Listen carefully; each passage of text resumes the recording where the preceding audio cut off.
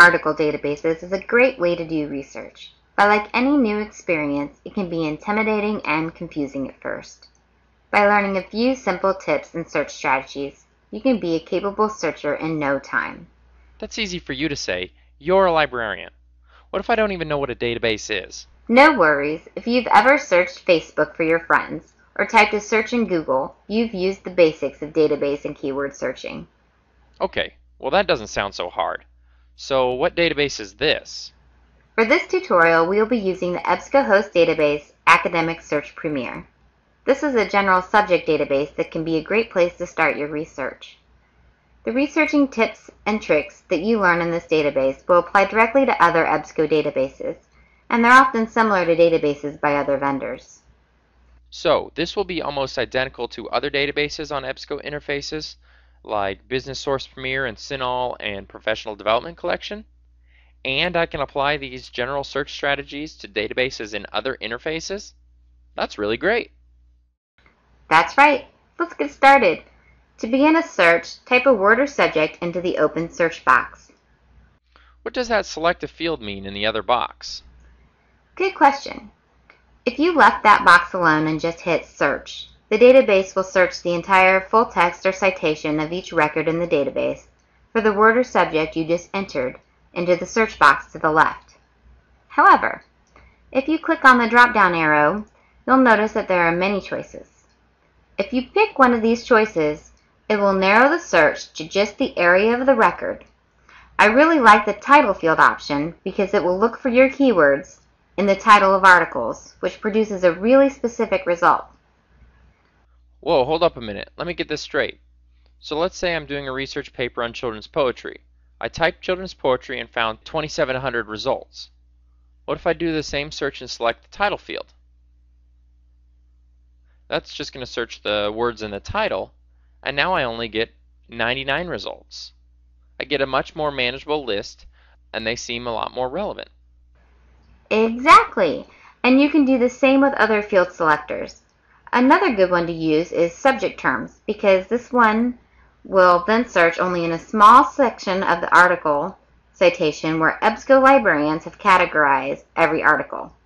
Choosing subject terms will produce a smaller number of articles, but likely a more accurate list. Other choices include author, if you already know the name of the author whose work you would like to find, or journal name, if you're only interested in articles published in a specific journal or magazine. You know, I've tried searching databases before, and it always seems like I'm getting thousands of results, or nothing at all. It's so frustrating. It happens to all of us even librarians, and we went to school for this kind of thing. Uh, oftentimes, the first search terms you enter will not give you the perfect results list. You may want to make your search a bit more specific to your needs. Try using the AND, OR, or NOT functions. Back up the search boxes.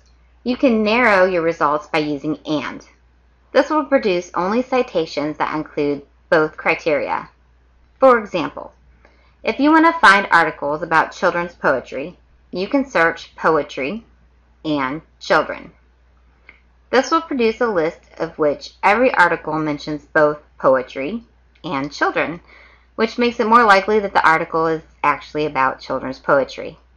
Okay, so if I want to get less results, I can use AND and add more terms to make my search more specific. But what if I want more results because I'm not getting enough? If you aren't getting enough results, you could try using the OR function.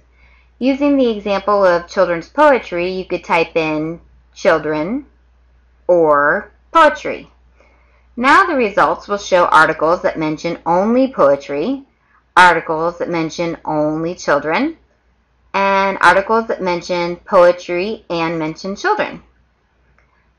The not function is used when you want to include a certain term or subject from your list. For example, if you are looking for articles about poetry but are not interested in articles about children's poetry, you could search poetry, not children.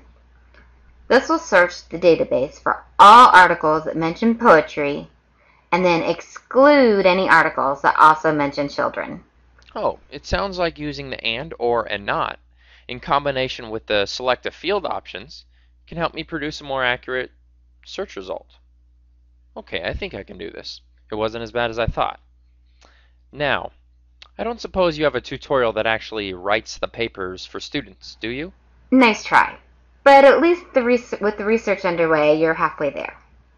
If you want to learn even more about database searching, please continue on to part two of this tutorial where we'll learn how to navigate our search results list and cite the articles you find.